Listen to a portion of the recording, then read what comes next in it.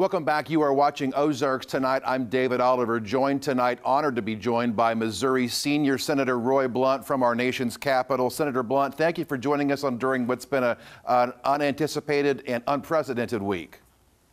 Well, glad to be with you, David. So, I want to start. We have a lot to get to with what's making news today. The news today, the headline is that the Capitol Police officer, a 12 year veteran of the Capitol Force, uh, Brian Sicknick, has passed away after injuries he sustained during the riot there on our U.S. Capitol on Wednesday. Your first reaction to that news? Well, you know, I spend a lot of time with the Capitol Police. Uh, one, we see them every day, and two, I, I chair the committee that has the oversight responsibility for the police. It's a great force. They put themselves out there every day at a building that has become a target, not like the target it was this week, uh, but uh, the injured officers, uh, their families, thinking about all of them, and frankly, thinking about the, the, the four people uh, that were among the rioters that have died as a result of this uh, totally outrageous decision uh, that they made that endangered the police and, and was shameful for the country uh, all over the world. I can't imagine a bigger gift we could have given to our adversaries uh, than to show the United States Capitol under attack uh, by Americans and even seized for a short period of time uh, by uh, by Americans who uh, would, in most cases, I think, have never thought about doing that until they did it. And what what a huge mistake for them and for the country. Right, and we're going to talk much more about the attack. I want to get to one other piece of news okay. that's happening today. The president tweeted okay. this morning to those who have asked him he will not be attending the inauguration. Senator Blunt, you chair the committee that plans the inauguration. So, what is your reaction to this news that President Trump will become the first president to not attend the inauguration uh, of his uh, uh successor since 1869? And also, are you worried about security during the upcoming inauguration? Well, my my statement over the last several weeks had been that I hope he would decide to uh, attend, uh, but I'm going to honor his decision. Uh, we're going to plan uh, for an inauguration that will not include him. I still think there's a chance that uh, the vice president will be there, and certainly he'd welcome if he's there and encouraged uh, to to be there. On in terms of security for the inauguration. Uh, it, it is a vulnerable time for our government. Uh, as I said four years ago when I chaired this, on a day when the candidate I had voted for was being inaugurated, uh, getting people back inside always a, a relief because here we are. The government comes together, the executive branch, the legislative branch, the judicial branch of government. Every past president that could be there has traditionally uh, come to that event, as I think they will this time. Uh, and so there's a vulnerability there, but uh, we plan everything we can, much higher level of security than the Capitol Police had planned uh, for what they, I believe, I've been told, thought was going to be very similar to the November and December demonstrations uh, that it turned out to be differently. But we'll be outside. I announced yesterday after talking to uh, President elect Biden's political inaugural committee uh, with my recommendation that we stay outside, that we do this where the American people expect to see it done, and people all over the world watch to see uh, it done. And uh, so we'll be outside unless the weather would drive us inside. It'll look a little different because of the pandemic, and they're going to be all we've said for weeks now. It'd be more like an inaugural, a uh, State of the Union crowd than uh, an inauguration crowd. There'll be about 3,000 people there instead of uh, 200,000 people going through the security gates themselves. And I have no control, of course, over who's out there right. uh, behind the security gates. But uh, uh they people have been discouraged from coming for health reasons uh, up until now, and they might now have another reason not to come based on things that can happen that you and I would have never expected to see happen uh, in the United States. All right, speaking of things we never expected to see happen, let's go back to Wednesday. You were inside the U.S. Capitol preparing to do your constitutional duty uh, to certify the electoral votes uh, from the last presidential election. The riot, the attack begins. Uh, and in fact, I was watching Twitter, and you were, uh, sir, among the very first lawmakers in our state to tweet out uh, on Wednesday, and you said, I'm going to read your tweet. The events unfolding at the Capitol are shameful. There's no justification for violence and destruction. It has to stop now. Again, you were one of the very first in Missouri to tweet out during the events happening Wednesday. Were you scared at all for your personal safety? And let me ask you, how does this happen at a building that most would assume is one of the most secure in our nation?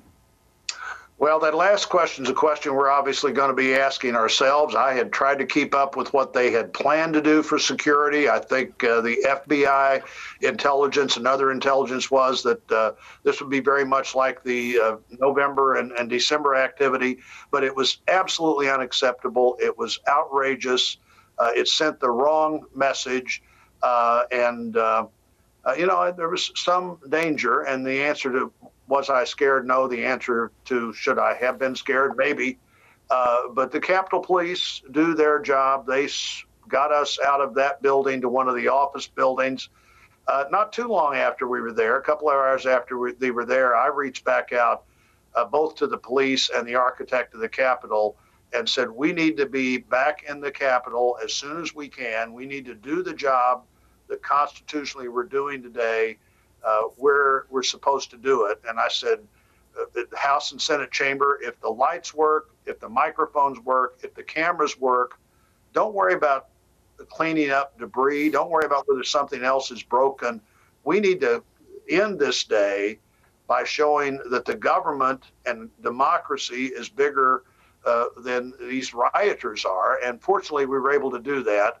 Um, before it happened, the vice president and I and the other the, the Senator Klobuchar, the Senate contingent, in opening the ballots and reviewing the electoral vote, had walked back to the Senate to have a debate about one state. Uh, and then I began to get some text from my staff that uh, came in pretty quickly that things were spiraling out of control outside. And really, almost as quickly, the vice president's team came in, took him off the uh, the, uh, the the uh, the, speak, the, the speaker of the Senate, the president of the Senate chair, and then we went into recess. And immediately, the Capitol Police and the Sergeant Arm they were trying to lock every door they could possibly lock that created access to that chamber uh, as they tried to decide uh, what to do next to move the senators out of the Capitol. And I'm sure th- the same thing was happening on the House side uh, as, as we were doing that. There's going to be a lot of debate, sir, coming up in the next weeks and months to come about what fueled uh, this riot, this attack on our nation's uh, democracy at the Capitol building there. Uh, a lot of conspiracy theories out there, clearly, uh, uh, that some would say fueled this with the people who were behind this believing that the election was stolen, as the president told those folks. At what point do members of your party have to come out and say, hey, folks, this wasn't stolen, this was all on the up and up? Well, I think I think we've said that um, in the um, activities of the week. Um, yeah, plenty of. I was, yeah, I worked hard for the president. I, uh, the president had lots of great accomplishments. I was eager to share those in Missouri, where I was the co-chairman of his reelection, and around the country as I was asked uh, to do that. Uh, I wish he'd been elected. I then defended his right to take every piece of information they had to court uh, that assured that every legal vote was counted, every illegal vote was not counted. Uh, but after the judges, the courts, 50 different, more than 50 courts rejected all of the information they were given or said it wasn't adequate, it, it didn't do the, didn't prove what needed to be shown here at some point you have to realize the election is over. I'd much rather be chairing an inauguration on the 20th of January as I did four years ago, where the person I voted for was being sworn in. Uh, but you know, democracy is it has to be honored, and it's not for sissies. When you lose, you lose. When you win, you win. But you can't walk away from the Constitution and your responsibilities of the Constitution just because it didn't go the way you said it was going to go, nor can you embrace a bunch of theories that no judge has accepted and say there are votes out there that we can't show anybody what they were, uh, but uh, this this election uh, somehow is illegitimate. Um, you know, it's it's just not the way this is this sure. is going to end. And uh, so we, will move forward, and uh, there are lots of things I'll disagree with the next president on, just like there were lots of things I agreed with uh, President Trump on, and uh, we'll see what uh, what what goes moving forward. But we will have that inauguration. We'll have it outside, uh, and it will be as secure as it could possibly be. Though that was the plan all the time. We're going to be doing nothing different to secure the inauguration, but it'll be much more secure from fencing and other things as it was four years ago uh, than the Capitol situation on Wednesday of this week.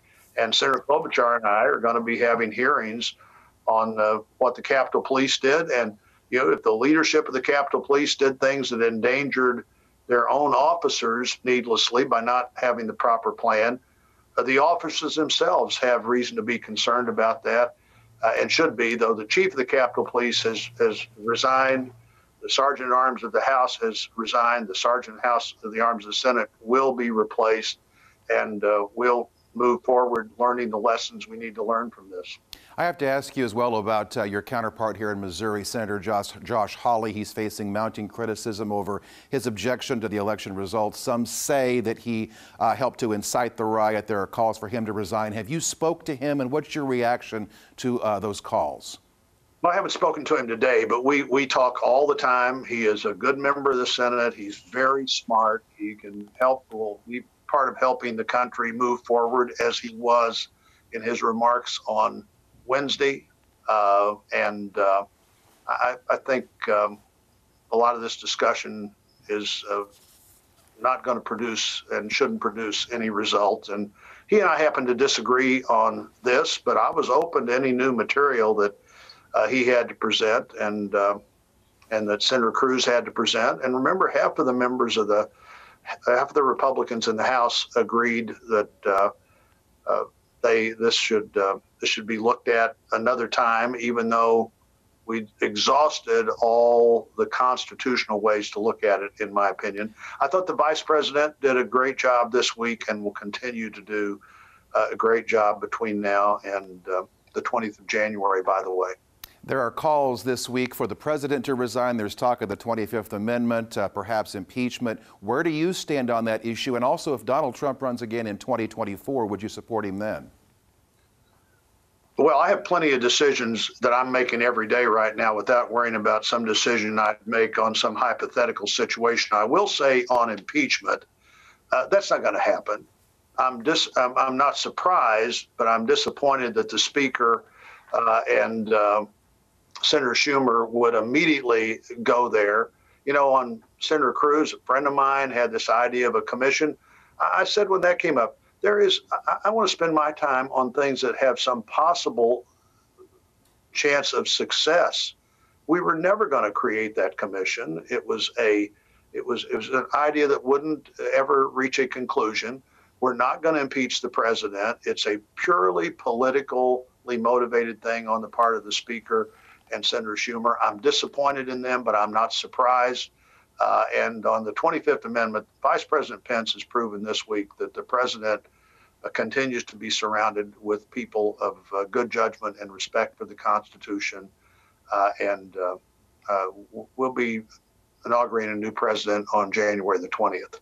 Speaking of that new president, President elect Joe Biden, let me ask you what are some things that you would like to see Congress work with uh, the new president on in the first 100 days of the new presidency? And also, where do you think we're going to go with additional stimulus dollars and additional stimulus package items moving into a new session of Congress with a new president in the White House? Well, the good news is we did get uh, a stimulus package or a, a COVID package done and a uh, of the regular funding done. So we have a little time here to look at that. I think we ought to look at circumstances, decide what needs to be done. Uh, if we were going to send checks to people, we should only send checks to people who really have been hurt by this, not everybody in America, because that's the easy way uh, to get a check out, in, in my view. Uh, we'll see how much the vice pre- how much Vice President Biden, then President Biden, wants to work uh, with us. The truth is, we've lost control of the Senate, we've lost control of the House, we've lost control of the White House. Uh, I'm hopeful that Democrats will want to reach out and work with Republicans. Uh, they might not, and uh, Uh, you know, I'm certainly not for many of the things that the vice president and his supporters said they wanted to do uh, during the election, and uh, we'll just have to see how, how this all goes. And in closing, I just want to ask you you mentioned moving forward. Sir, how does your party, the Republican Party, move forward after the last four years and the way that this president's term is ending? Well, hopefully, we move forward with more responsibility uh, about uh, on both parties than what we say and how we say it. The Democrats foolishly talking about impeachment is not a way to move forward. Uh, us uh, talking about uh, the fact that somehow the election's not over after January 20th wouldn't be a way to move forward. We have the greatest democracy in the world. We have the strongest constitution in the world. Uh, we need to embrace that. We need to think more carefully about how we talk to each other and about each other.